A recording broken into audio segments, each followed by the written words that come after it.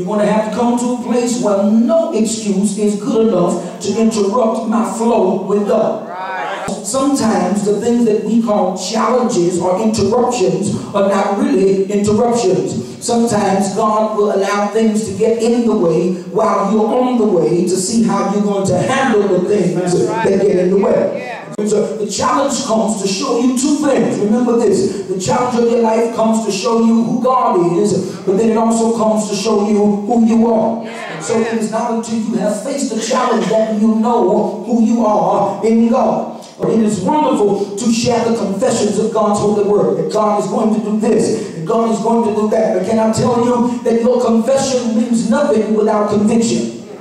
In other words, we don't just speak the blessings of God just to make ourselves feel good and to hear ourselves speak. When you confess the word of God, you can imagine that confession must come along with a conviction because you're going to face a circumstance that is going to be the total opposite of your confession. And so now your confession cannot change just because circumstances do not support what you believe. It's going to be hard for you to prove that you really love God and love worship and love prayer and love the word when you only do it when your back is against the wall. It's like a man who only says, I love you when he gets in trouble. It's like a woman who's only sweet when she's in the doghouse. I want you to understand that's what we call jailhouse salvation.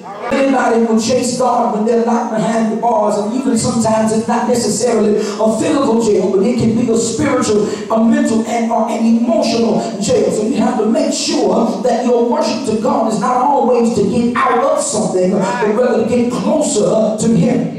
The Bible says in the last days there would be a great falling away. Now, if you allow me to revelate this to you, understand that this great falling away is not going to come at the hands of external sources. Some of the falling away is going to be because of some storms that happen in the church. And the saints who have been once known for jumping, shouting, and dancing, that's all they had was a dance. But they had no foundation. So when the storm hits the church, they had no root in order to stand the wind. And what understand, I'm getting ready to show you here in Isaiah 65 that there was a storm that God is sending to the church. But he's sending the storm to the church because he's getting ready to clean up the church. And then he also prophesied that there is a remnant that he's getting ready to draw out of the church. I want you to understand that sometimes, beloved, there are storms that God will allow into the church. And it does not come uh, simply to address you, but it comes to address a spirit. And for every person who has been affected and impacted by the spirit but has no foundation will be blown away. Yes, sir. Can I tell you, here God says, I have made myself accessible unto you, even though you didn't call me. If anybody here that knows what it feels like to live under the blessings of God when you know you didn't deserve them. You got an answer, but you didn't pray. You got a blessing, but you didn't give. You got deliverance, but you didn't seek Him. God is saying here, I permitted myself to be found by those who did not ask for me. God said there is something that I'm going to have to change in my house. in order for God to perfect the dysfunction in the house, God said I'm going to have to send a storm into the house. But when the storm comes to the house, it's only those who have root and foundation in the word that's going to be able to survive the storm. I said a storm has hit the city. It has in fact. A storm has hit the city, but how many know the city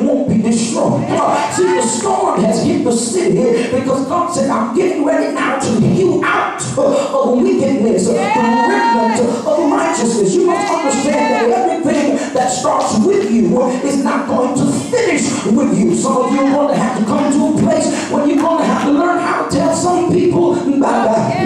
That some people you have clapped them in, but you're going to have to clap them out because they have no connection to your future and they assignment to your purpose in the kingdom of God. I've been saying for years that this is the season of assignment and alignment. Every person who's connected to have to understand what God has brought them into your life for.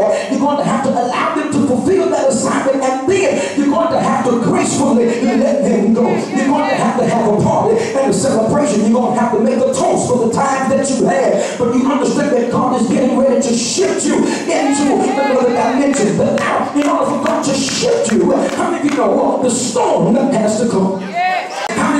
Believe that God will supply all of your needs? How many of you really believe that no weapon formed against you shall prosper? How many of you really believe that all things work together for the good of them who love the Lord? Well, how many of you believe that when none of that stuff has any evidence of happening? That's why I'm telling you, you don't have to have conviction with no confession. Because sometimes what you're confessing is not what you see. I'm, I'm trying to recite the scripture, but I can't see the scripture. And I don't know about you, but I come to a place where I don't want to just quote the scripture, but I want to see that thing materialize in my life. I, want to see God's word come to pass day after day. I don't want to just waste my time shouting and dancing the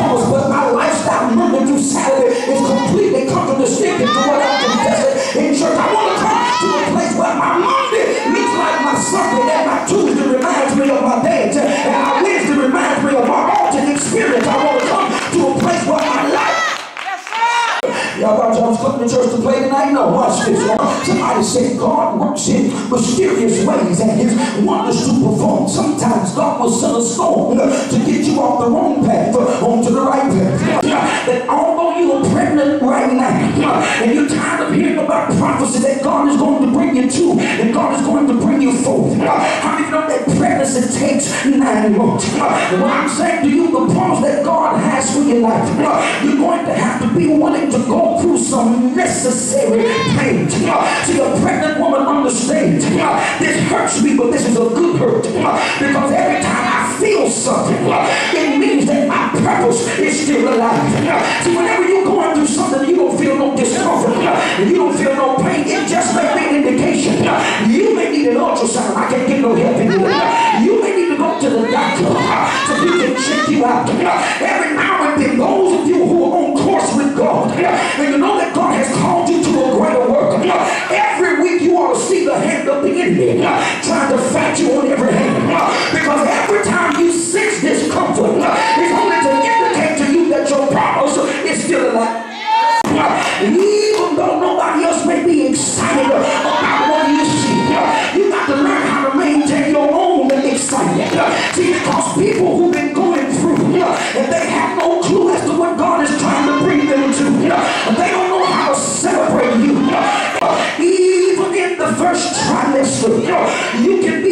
and nobody knows. And so that's the reason that they treat you the way they treat you. That's the reason that they talk to you the way they talk to you. That's the reason that they walk over and ignore you the way they do. Because you ain't showing yet.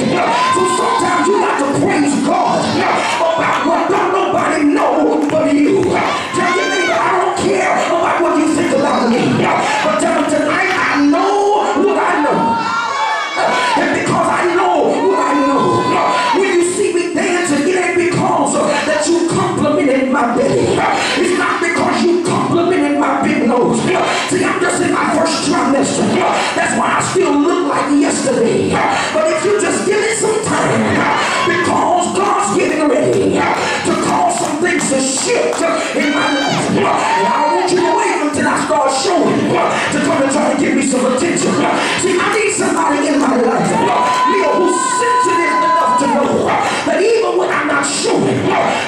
something about him. I can't see nothing from an ocular point of view, but it's just something about you. Your name ain't on the program. You ain't got a lot of folk around you. You ride the bus back and forth to church, but it's something about you. And, I can't tell you tonight, don't you let anybody discourage you. Because in the first trimester, nobody knows you're pregnant but you. So tell your neighbor, I got something in me.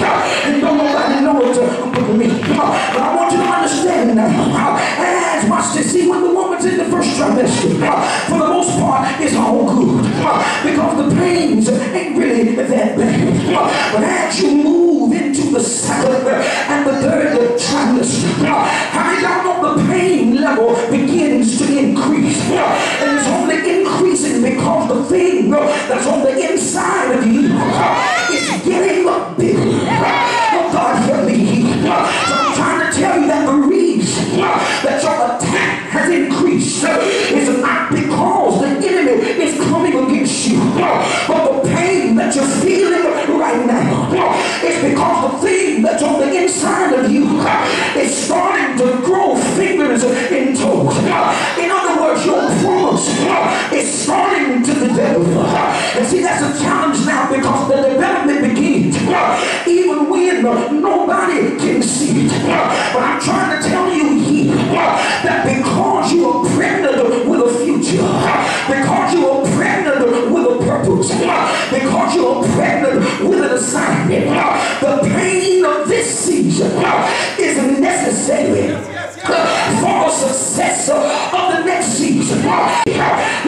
neighbor, tell neighbor, I would go out with you, but I got to be careful.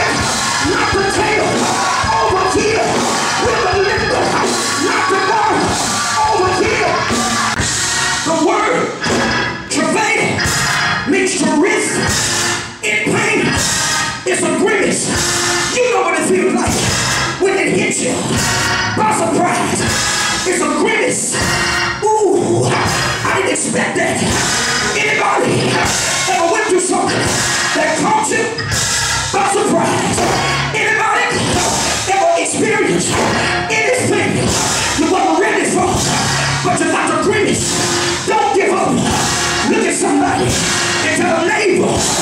Be like this man. Whatever. Be tired. Because God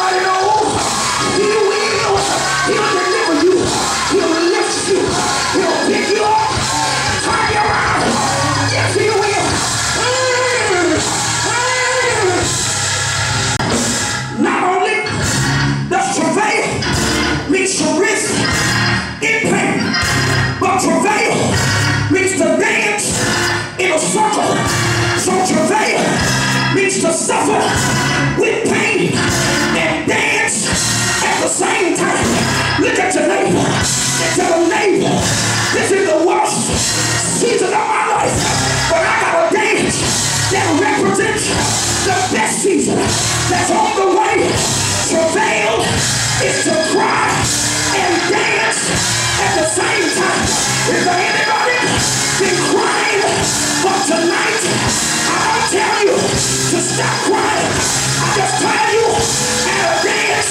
to your to your some tissue and a tambourine.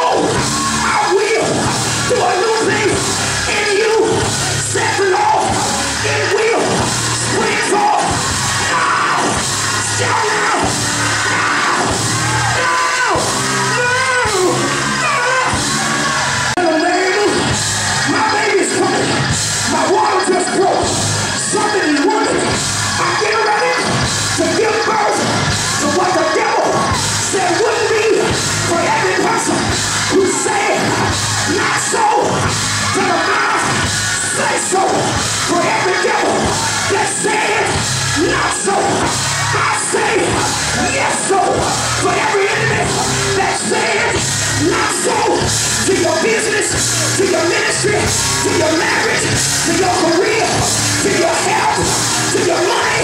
The devil says not so, but the blessings of the Lord make you rich, and also the promises of the Lord are yea and amen. Get ready.